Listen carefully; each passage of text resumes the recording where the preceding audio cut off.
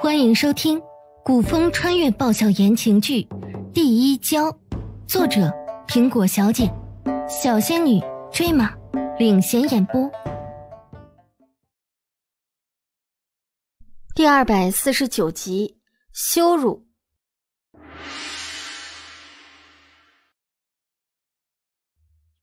苏青要是开口否认，口说无凭，谁也不会信。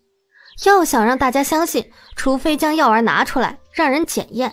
可如此不就等于落了下风？堂堂九王妃，堂堂紫荆将军，自己入口的药丸被长公主府的大夫检验。如果两家素日感情好也就罢了，偏偏还是死对头。一时间，无数道目光聚集在苏青的面上，有看热闹的，也有心下惊讶的。礼部尚书闺女哪来的勇气，居然找九王妃的茬？长公主转头，目光深深，一脸难以置信。九王妃难道觉得本宫要给你下毒？苏青吞下药丸，一脸平静，认真的点点头。啊，我是这么想的。众人，长公主，礼部尚书嫡女顿时心头一个冷笑，跟着起身。恭恭敬敬朝苏青一扶。九王妃，臣女说句大不敬的话，您知道大不敬就别说了，免得说了我治罪于你，伤了公主的体面。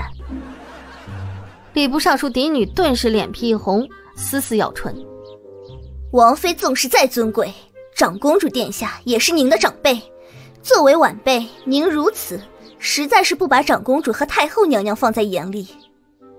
苏青眼底闪过饶有兴趣的笑，起身朝礼部尚书的嫡女走过去。眼见苏青走来，现场的气氛顿时一凝。众人要揍人了吗？虽然他们和苏青不是一伙的，但是朕还有点期待呀。挨揍的又不是自己。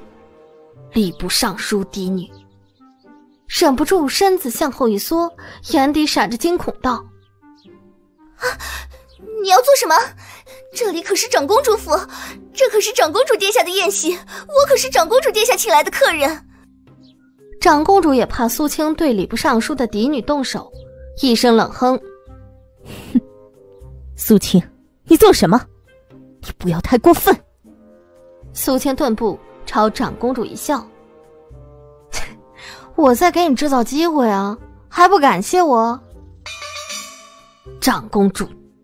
苏青雨落，继续走向礼部尚书嫡女，抬手一捏她下巴，微微扬起：“你是谁啊？怎么这么伶牙俐齿的？”礼部尚书嫡女被苏青捏的下巴疼，羞愤交加，狠狠的瞪苏青：“放开我！”没有回答苏青的问题。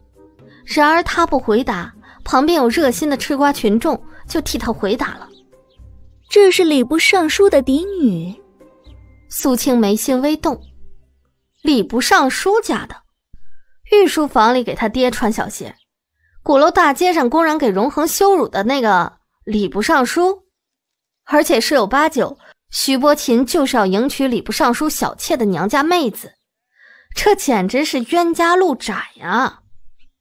看着礼部尚书嫡女，苏青嘴角勾起一缕放荡不羁的笑，这种笑。他只有在碎花楼调戏姑娘的时候才会用到。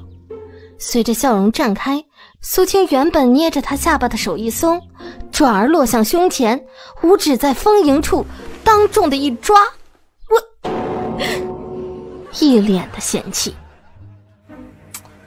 真小，金菊也比你大。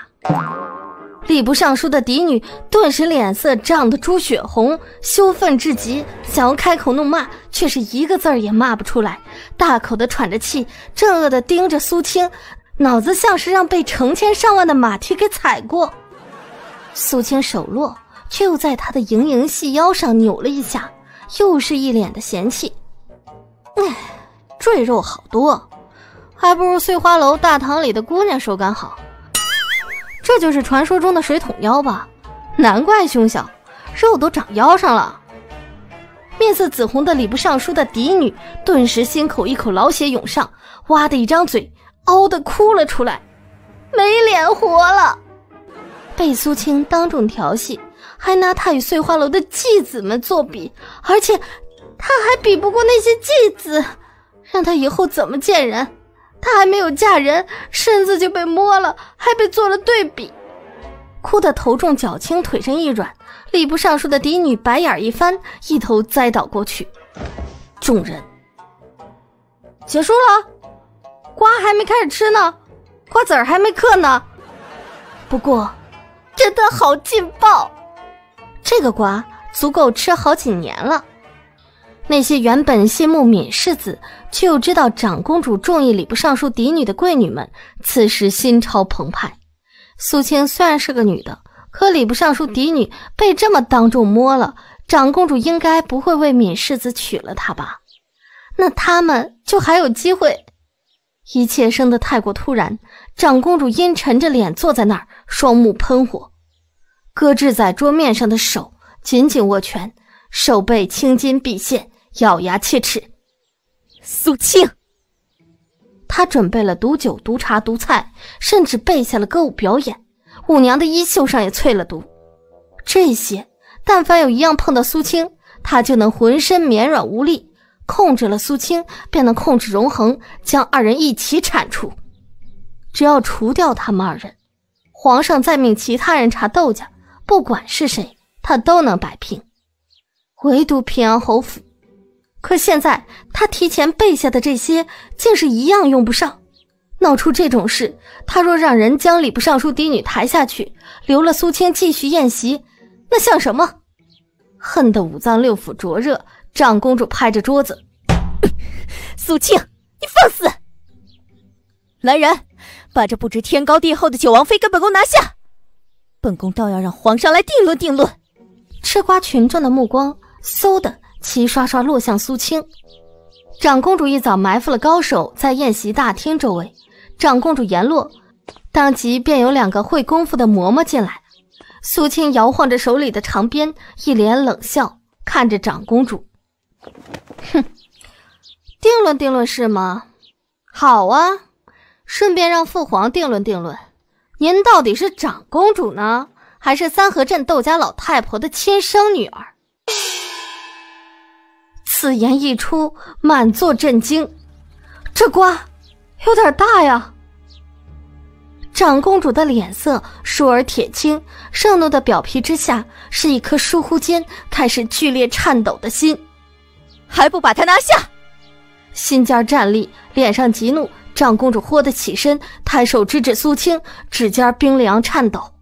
那两个嬷嬷上前，苏青一甩手中长鞭，将两个嬷嬷直接打包卷起，丢在一旁。砰的一声，人落地一瞬，苏青高声质问：“怎么，不敢让我说了？心虚了？”语调充满讥讽。满座的宾客屏气凝神，长公主急怒攻心，胸前一阵起伏，眼底的印度杀气骤然浓郁起来。苏青一手扬起鞭子，在地上啪的抽出一声巨响，响声落下，苏青道：“你今儿请我来。”不就是因为我知道了你这不可告人的秘密，你想杀了我灭口吗？别耽误大家时间了。点赞、评论、分享是最好的催更方式，更是我们的动力。我们下期见。